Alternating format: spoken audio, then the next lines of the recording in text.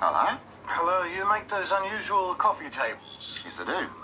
You, uh, interested in one? Actually, I'm interested in about 300 of them.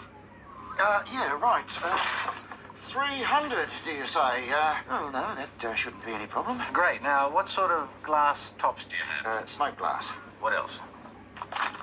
Uh, we have a selection of the finest range of glass imported from around the world. Right, now, I'm going to need this order filled by the end of the month. Uh, no, that's no problem. In fact, um, I've got my staff ready on that line at this very minute.